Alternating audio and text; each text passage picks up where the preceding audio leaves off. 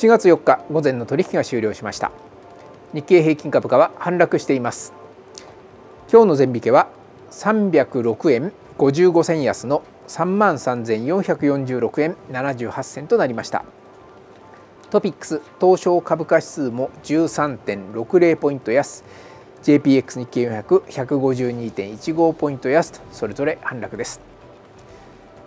東証プライム市場値上がり銘柄数は全体の約 38%689 銘柄。これに対して値下がりが58%の1073銘柄。変わらずが約4%の73銘柄という構成です。トピックス規模別株価指数もいずれも下落大型中型小型揃って下げています。ただ率で見ますと大型中型小型の順に上昇率が大きくなっています。小型株はほんのわずかな下落にとどまっておりまして底堅い動き。大型株主導あるいは指数主導の下落という側面が強い今日の前場の動きです。商いは引き続き高水準です。全引け段階東証プライム売買高7億3000万株余り。売買代金が1兆7389億円。1日として活況の目安とされます3兆円の半分1兆5000億は優に上回って1兆7000億円台の売買代金で全引けとなりました。このまま5番も推移するとすれば1日として3兆円台半ばの売買代金が見込めるペースで推移した形です。今日は朝方から全体的に売り注文が広がって日経平均株価反落の動きとなりました。昨日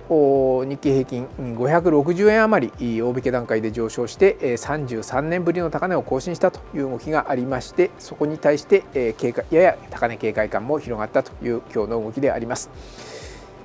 短期の利益確定売りなども出やすくなっており特にここのところ買われていた大型株中心に